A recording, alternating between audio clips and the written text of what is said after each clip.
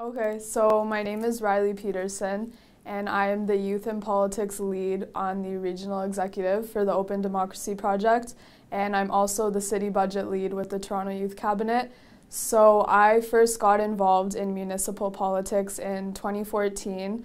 I joined the Lekan Olawoye campaign for city council in York South-Weston and I got involved because I really loved my neighborhood and I loved my city and I wasn't quite sure um, how I could get involved. So I started doing a bit of research um, and seeing where where I would best impact um, my community. So I thought, found Lekan's campaign and I thought it was a perfect fit. Um, so I just started out by tagging along on canvases and then eventually I was recruited to be going basically every day after school, and I was um, given more of a leadership position by um, bringing my friends every day. So we had like five to 10 youth coming to the office, campaigning, doing canvases, lit drops, phone banking, things like that.